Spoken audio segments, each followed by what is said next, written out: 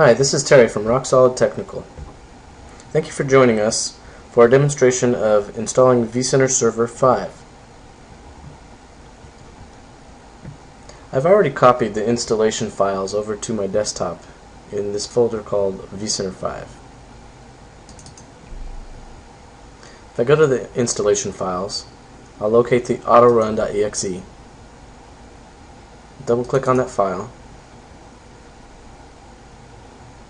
then we get our VMware vCenter installer screen. It's a little bit different than the 4 or 4.1 screens that you've seen in the past. What we're looking for here is the first option under VMware Product Installers, vCenter Server. Then we want to click on Install in the lower right.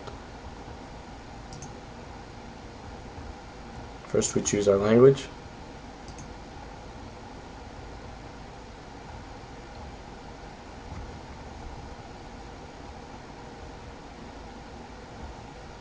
The installer prepares.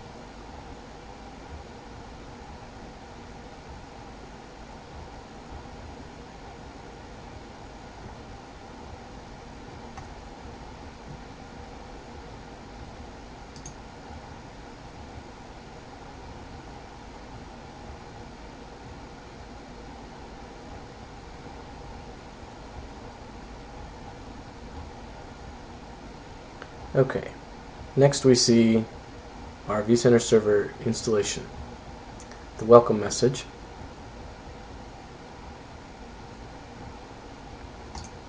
Click next. We then get our end user patent agreement. Review that as necessary. Click next. And then the VMware end user license agreement. Please review that as necessary.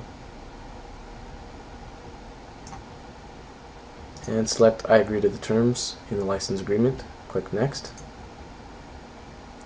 We would then you need a username. Something must be entered in organization.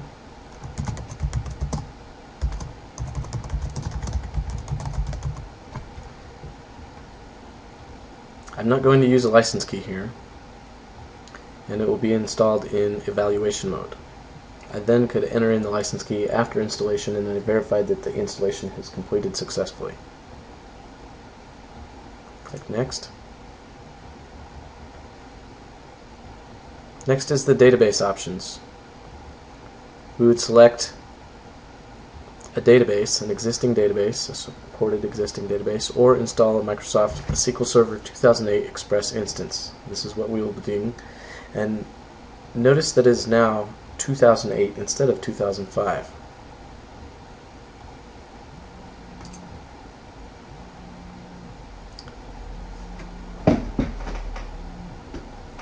Next is the vCenter server service. We're going to use the system account. In my demonstration I'm not part of a domain, so the fully qualified domain name may give us a small warning. This is the warning. Fully qualified domain name cannot be resolved. Next we want to select the destination folders. We have an option for installing the vCenter server and the inventory services. We're going to go ahead and go with the defaults here. Click Next. Next is your options for linked mode.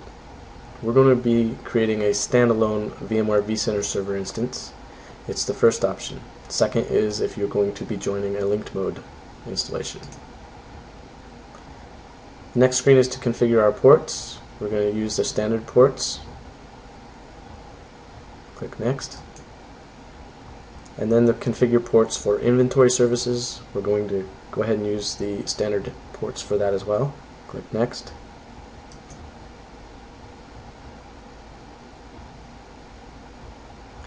Then the vCenter server JVM memory.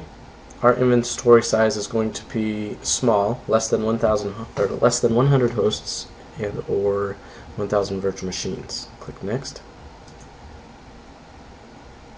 And then we have ready to install the program. Click Install to begin the installation.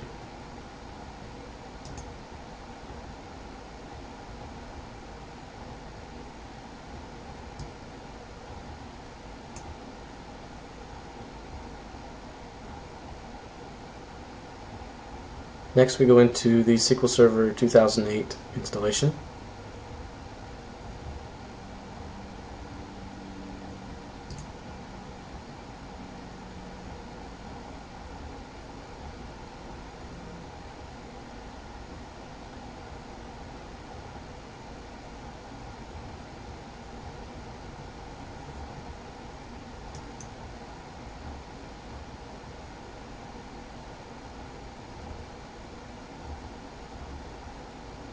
The SQL Server 2008 Express setup can take a few minutes.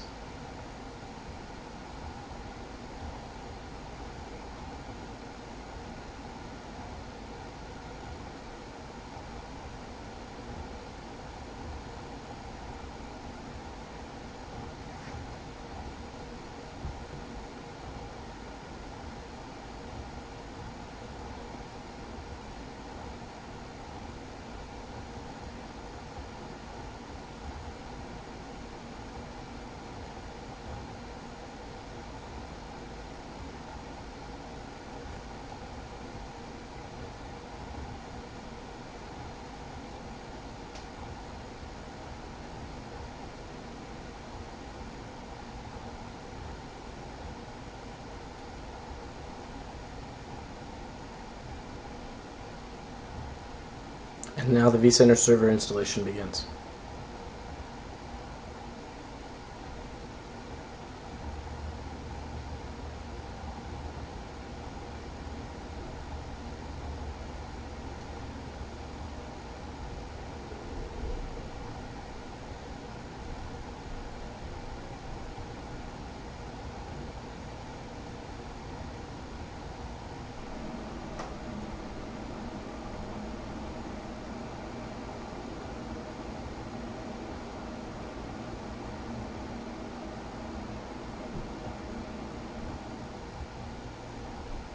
Configuring vCenter inventory service.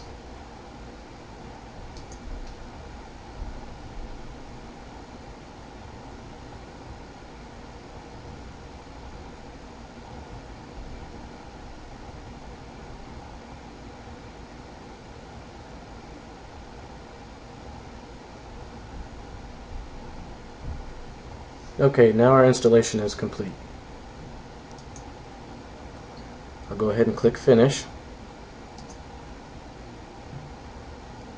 The next thing I want to do is connect to our vCenter server with our vSphere client, which I already have installed.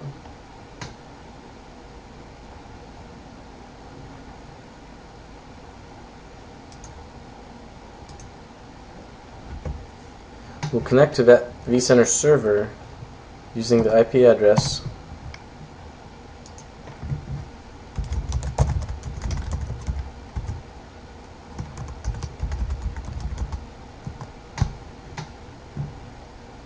and not using the host's login information, but the login information to your vCenter server. Accept a certificate. Again, you'll log in using your vCenter server's login information, not your ESX host login information.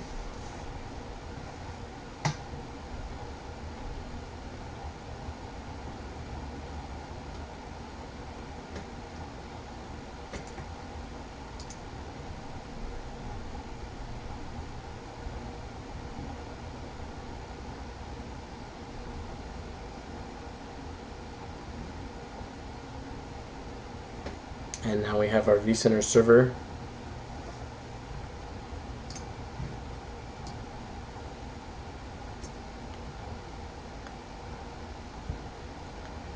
We have nothing in the inventory yet except for our vCenter server located in the left hand pane.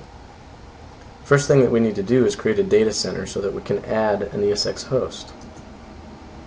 Click on create a data center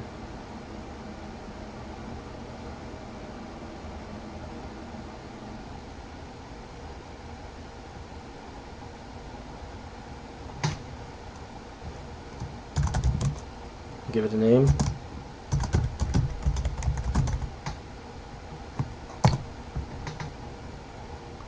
After we've added a data center, we want to select our newly created data center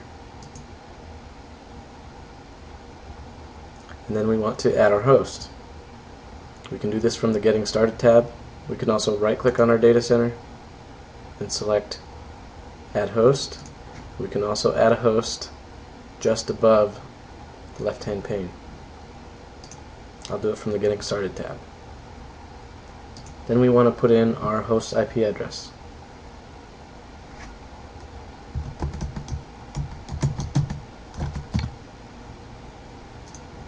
The root username and password. Next.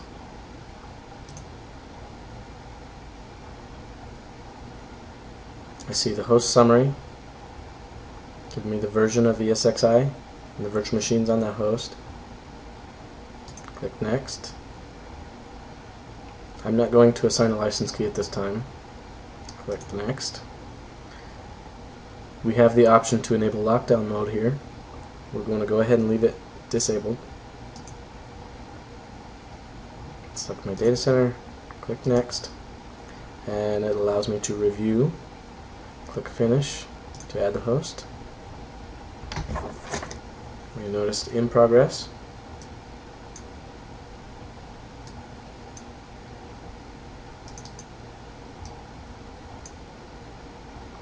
Retrieving data from the vCenter agent.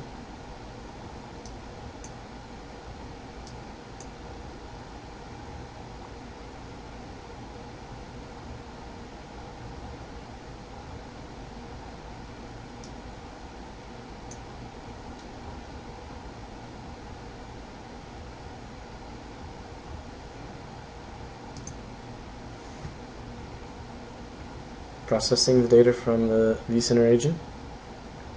Once it's processed that data, it's added it into the database and will show connected. And now I see this host and the virtual machines on that host.